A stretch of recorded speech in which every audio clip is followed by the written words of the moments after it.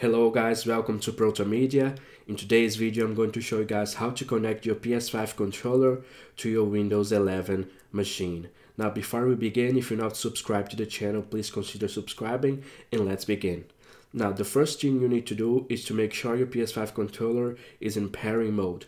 To do that, all you need to do is in your PS5 controller, you press the PlayStation button together with the top left the creator button.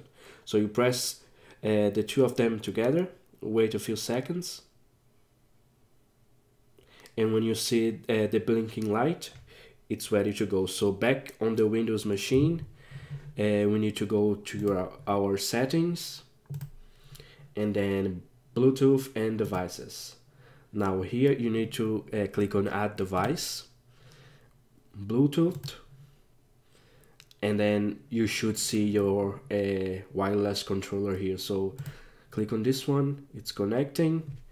And back on the controller when you see the uh, the solid light it means that the controller is now connected to your Windows machine. Now you need to do another uh, another step uh, to make sure it's uh, connected to Steam. So what you need to do is you need to open your Steam app. And then on the top here you click on Steam and then settings and then you need to click on controller here and then general controller settings. Here you need to uh, mark PlayStation configuration support.